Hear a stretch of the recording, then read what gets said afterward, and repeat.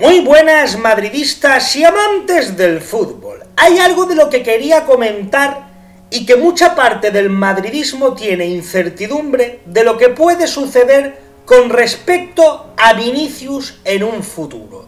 Ojito, lo que estamos viendo no es novedad. Vinicius en cada jornada, sobre todo aquí en la Liga Española, porque como siempre digo, eso sucede aquí, pues está metido en toda la polémica negativa que rodea al jugador, porque lo persiguen, porque lo quieren encontrar y porque lo quieren criticar por todos los medios.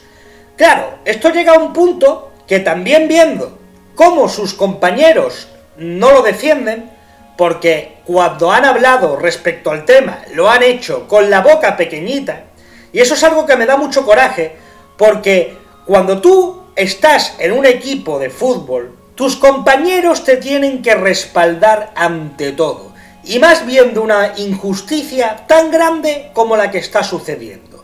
Si tus propios compañeros no te respaldan porque le dan cosa públicamente ponerse de tu lado, ahí la cosa huele un poquito, ¿eh? Poneros un poco en situación.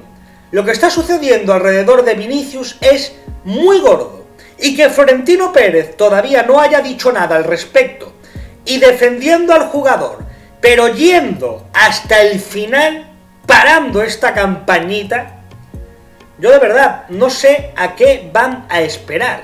Y aquí la incertidumbre de la que hablo es, ¿qué va a pasar con Vinicius? ¿Se va a hartar de estar en la Liga Española al sentirse solo y perseguido? ¿El Madrid eh, puede hacer algo al respecto? Porque como esto llegue todavía más, porque es que esto está llegando ya a unos niveles que yo creo que todo tiene sus límites. Pero claro, ¿qué va a pasar? ¿El jugador eh, se hartará y se irá? ¿O lo soportará y bueno, pues la gente se calmará? Porque ya os digo yo que esto de calmarse no tiene ninguna pinta. Y por ejemplo, Juanma Rodríguez, anoche en el chiringuito de jugones, habló de este tema al respecto y dijo una verdad como un templo. Pero, ¿sabéis una cosa? Que sí, es fácil pensar, bueno, a lo mejor Vinicius se harta y como ve que aquí en la Liga Española eh, lo están machacando, se puede hundir o le puede bajar lo que viene siendo la autoestima e irse a otra liga, ¿no? Por ejemplo, a la inglesa. Pero yo creo que hay que tener aquí en cuenta una cosa.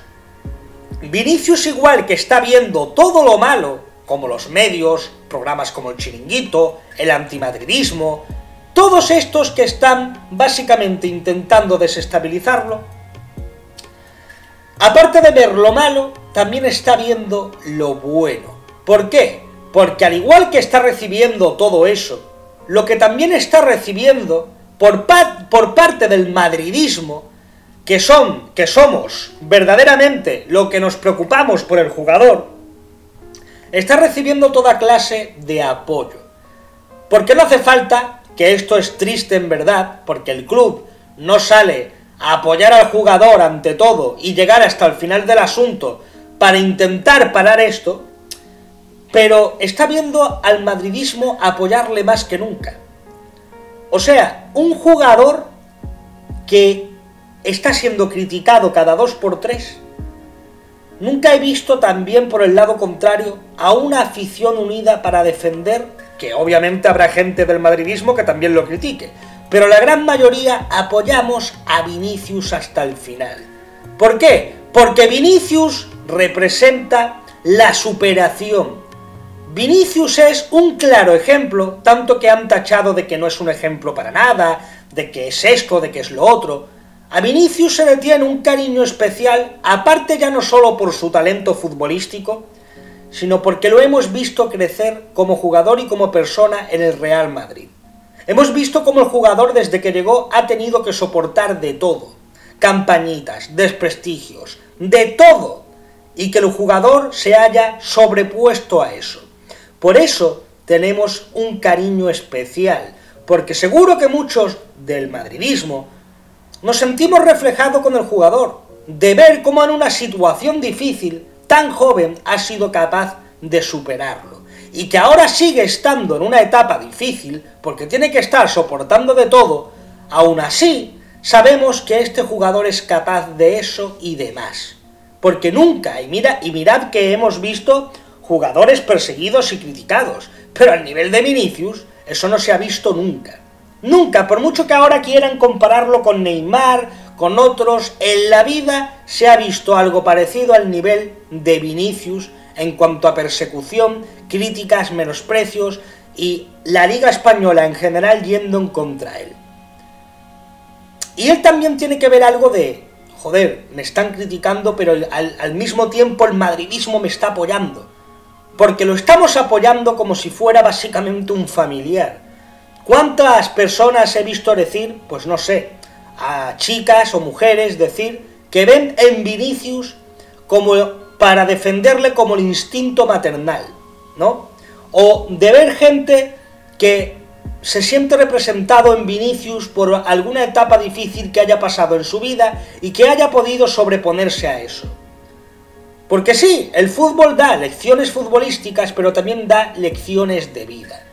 Porque yo recuerdo a Vinicius que no solo tuvo que soportar crítica de los medios, del chiringuito, de los Cristóbal Soria de turno, sino incluso de Benzema, eh, que, que es compañero suyo, donde fijaros hasta dónde llegaba la campaña, que ya incluso en su propio equipo tuvo que soportar faltas de respetos como estas. Cuando es un jugador súper joven que lo que se le tiene que dar es confianza. Es cierto que Benzema después le pidió perdón y ahora se llevan mejor que nunca.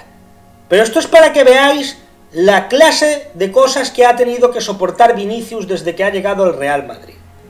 Todo eso al final yo creo que ha hecho una fortaleza en el jugador que ha llegado a un punto que le da igual y va a bailar las veces que haga falta. Así que Vinicius, nosotros te apoyamos. Sé que seguirás en el Real Madrid porque por mucho que podamos pensar que si te hartas te vas, yo creo sinceramente que Vinicius encima es un jugador que ama el Real Madrid. Y incluso cuando el equipo juega mal, es el único que lo intenta, lo intenta y lo intenta. Por eso también lo valoramos muchísimo.